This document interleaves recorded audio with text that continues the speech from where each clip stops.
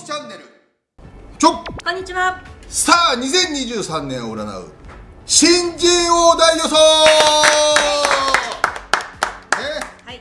まあ昨年はきっちり当てさせていただきましたけども。いやもう去年は惨敗でした。はい、うん。ねしっかり。もうはい。今年もこの段階で、でも今年は本当に不安です。本当ですか？はなぜですか？いプロ野球のオープン戦2試合しか見てないです 全く知らないですまあ今年ちょっ正と WBC と並行して行われてたんいやでね。全く見てないんですよ、うん。日本のプロ野球。はい。解説でロッテ日本ハムと、ヤクルトあれヤクルトとどこだった？もうヤクルトとロあヤクルトとロッテだ。っていうのをあのオープン戦の解説は行きましたけど、はい。あのその2試合は見たすけど他の情報は1ミリも知らないんではい。正直もう誰が怪我して誰が怪我してなくて誰が絶好調でどのチームが勝っててどのチームが負けてるかも知らないじゃあ現時点でのオープン戦の首位はどこでしょう？知らん最下位はどこでしょう？うん知らん そうなんです、ね。全く知らんだからもう、勘で勝っていきたいねそうですね。で、はい今今年もはい3人ずつです、選ぶのは、はい。であの10億円選手の時の同様にえかぶったらその選手は取れませんいえ取れないんですか？そんなに候補います？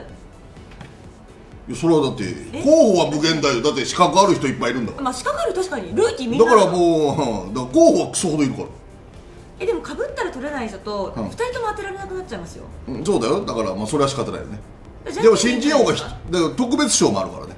ああそっか、ん。じゃあ一応。でしかもかぶったからってそいつが本当に新人王になるかどうかわかんないじゃん、わかんないですね、うん、だからかぶった場合はおお互い見る目あったねで終わりなんだあなるほど、えじゃあ一応あの里崎袴田これを取りましたって横にかぶりの選手もテロップで入れといてください、この人たちかぶりましたよっていう,、はい。じゃあパリ今日パ・リーグかはいらだから,、了解です。だどの順番でいくかもいるでね、そうですね、うん、じゃあじゃあドラフト1位からはい。1巡目いくよ、せーの。宇田川。俊平太。おおかぶらなかった、うん。あの宇田川投手ね、うん、もう不安要素なしで40試合登板、はい。防御率1点台ははい。もう確実ですから、はい、私は今年は山下俊平太投手が大ブレイクをし、うんうん。もう10勝する、まあ十分可能性あるね。ありますね、じゃあ、えー。い、いやー私の2巡目で取ろうと思ってたんですよ宇田川投手は。そしたら次じゃあちょっと私の3巡目ですね。はい。はい。次2巡目。了解です。か？はい。せーの。宮森。ああ取れないのこれ。嘘。それはもうあの絶対言うと思ってねえまた潰しに来たパターンですか？そうだよ。で、まあ、取れたら取れたらでいいしみたいな、そんなにもし宮森が欲しかったら1巡目でいかないと。いや私意外と山下俊平太投手来るかなと思ったんですよね佐藤さん。いやいかない。俺はもうあの宇田川の方がチャンスあると思ってるから。だってもうあの、まあ、山下俊平太もいいよ、はい。でもまだ未知数だから、まあそうですね、うん、もう宇田川は確実だかまあまあまら、うん、怪我しない限りはもう、はい。絶対のあ WBC の疲れ大丈夫ですか？ないないない。だって別にあのオープン戦投げてるのと一緒だから。あそうか、うん。じゃあいいですか？次この人にしよう。はい。いいですか？はい。せーの。矢駒沢子駒子です。ああ楽天の駒子投手は。うんうん私次に入れてた。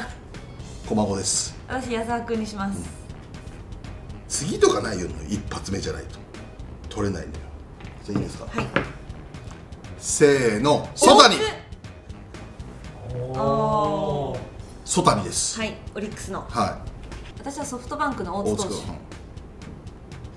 だから、どっちも全員ピッチャーだね。そうですね。まあやっぱピッチャーの方が取りやすいっていうのもあるからね、はいえな今日なんか一番楽しみにしてた動画らしいじゃん先生は。そうですね、まあ、うん去年山下俊平太僕言ったじゃないですか、うん、あの時はみたいな顔されたんですけど。だべはあじゃん別に。俺は去年のな、ん。去年の話してるかいやらしょごめんねこの未来チャンネルは。未来未来の話してるわけじゃないのよ。ちゃんとこの1年間の話なんだからそれははあだよ。なので、ここで名前を挙げるともしかすると数年後にデビューする可能性があるなって勝手に思ってたんですよ。いやそれは若手言ってんだからそれは数年後にデビューするよあの去年の時点で言っても去年は出てきてないので。そうそう。去年の話1年こ一年間の話で未来実は未来。日本シリーズ投げるよって言ったんですよ。